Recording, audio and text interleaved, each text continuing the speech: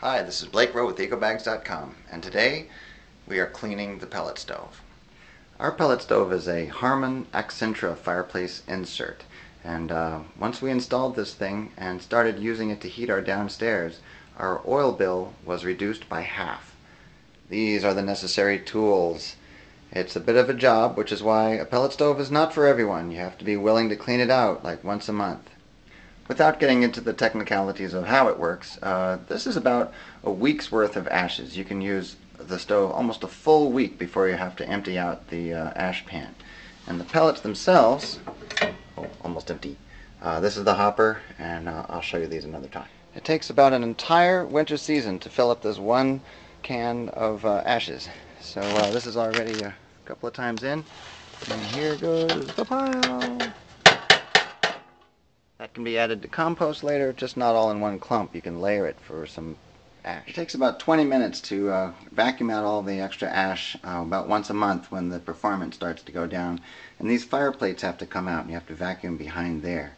And once a season, you have to pull the whole thing out and uh, do a really good... Okay, here we go!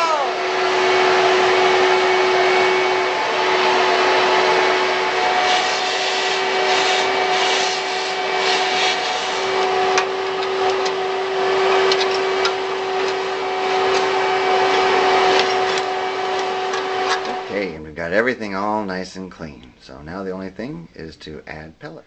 We've got lots of pellets to last us through the winter. What you're looking at here is about four tons, or actually a little bit less since we started uh, heating this winter.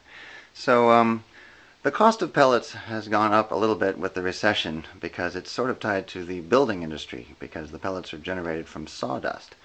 But uh, even so, it's nowhere near the volatility of oil, and um, it's still only running us about half of the cost of what we used to spend to heat our house every winter. So if you remember, the hopper was almost empty when we first looked in. Now I've put a 40-pound bag of pellets in here.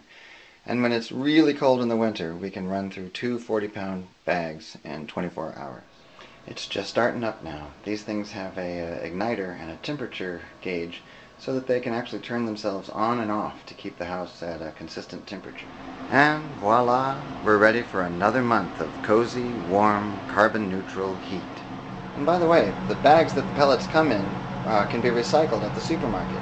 They're number four plastic, and along with shopping bags and newspaper bags, and even food ba bags, um, we recycle all of that instead of putting them in the trash.